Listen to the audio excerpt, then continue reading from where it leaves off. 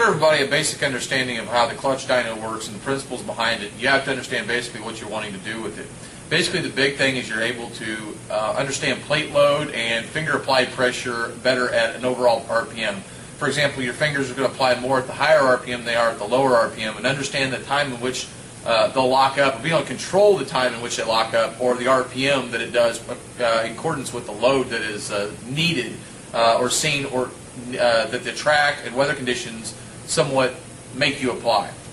Basically, what you're going to see is the clutch dyno, uh, made famous, of course, by uh, Kyle Carruthers of Roush uh, Engineering uh, fame. But uh, Kyle's a real great guy, done a lot. Um, this is a really nice piece of engineering. Uh, basically, what you have is when you look at what we have here, is this here is actually the load plate. Um, and what it is, this is a 7-inch uh, clutch design that we're actually doing some stuff um, for Australian Pro Stock.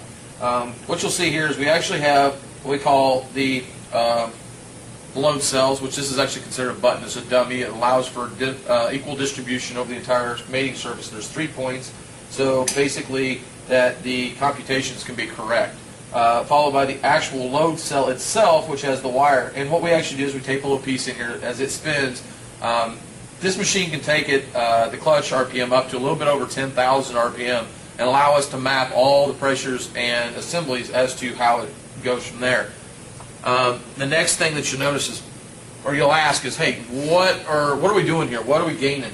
Um, this is a perfect example. This clutch that you'll see here, um, this clutch is an old um, Hays clutch that basically is uh, a customer's clutch that we're working on redeveloping. Basically, um, this was the original finger that was out of this clutch.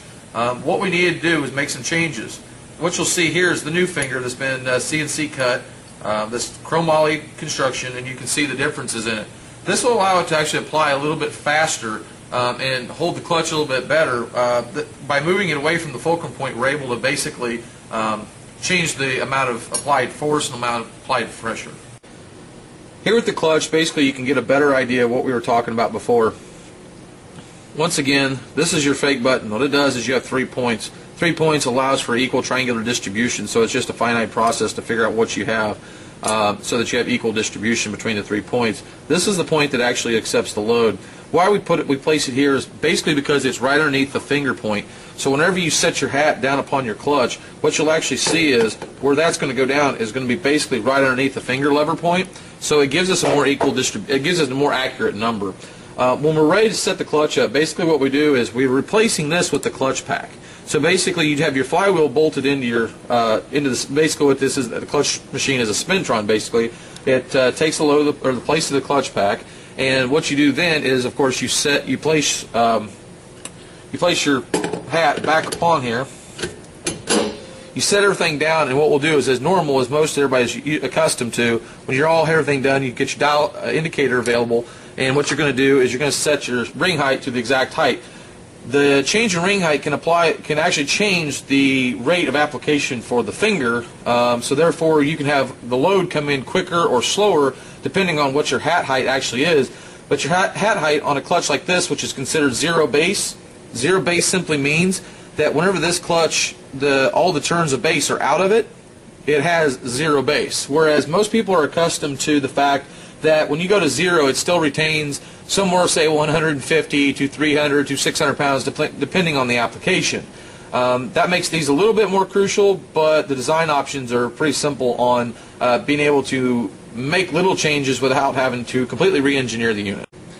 Now that we have the hat assembly back on top of the of the uh, of the rest of the assembly, basically what we're doing now is we've got all our stands zeroed, and we can see this, of course, by finding the hole and bringing the dial to zero or very close to it.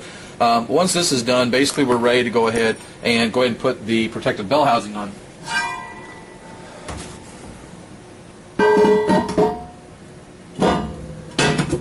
Once it's down, basically it has a fail-safe attached to it uh, so that it can't be started until everything's in. Once all the bolts and everything are in, we're going to be ready to start. We're going to go ahead. Once everything is, is ready, you're ready to basically insert, uh, reinstall the bell housing shield and make a dyno pull. We're ready to make a pull now. Basically what we've done is we're set to 6,000 RPM. Uh, that's how fast we're going to spin this clutch. Uh, it's just as an example of basically what it does. Uh, this one here specifically, we actually spin up to 10,000 RPM to gain a little bit more knowledge and more information. But basically it's going to give you a basic idea of what it does. What we do is we trip the, uh, we go ahead and start, start the machine, and once we start it, we go ahead and trip it kind of like a data recorder on a RacePak.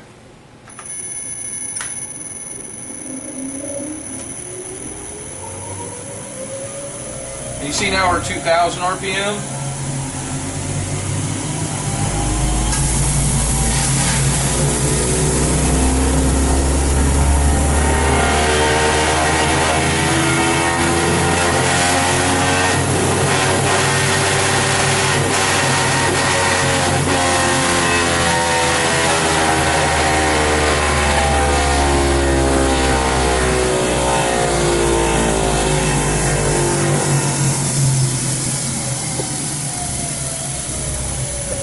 The clutch has come to a complete stop, and basically we've shut off our timing system, our recorder, and now we're going to go and take a chance to look at what. All right, now what you can see is the run that we just made, and basically what you're looking at here is your app- applied pressure, which you can see here, and red is in load and RPM. So we can basically look here and see exactly how many RPM we were turning in order to how much load was applied. This is a very standard lever. It's nothing of one of our special design levers. Um, however, basically this allows us to tell you with zero counterweight what it will do. We can then make uh, incremental changes, we can make staggered changes, and we can make new fingers and new designs to increase the fulcrum point or shorten it, as well as uh, change the amount of uh, amount of weight that is on the inside or outside of the fulcrum point, which speeds the process of the applied rate of load. So basically, by after we do this, we can then basically map this and show ourselves a spreadsheet and a graph as to what it's going to do and what the possibilities are.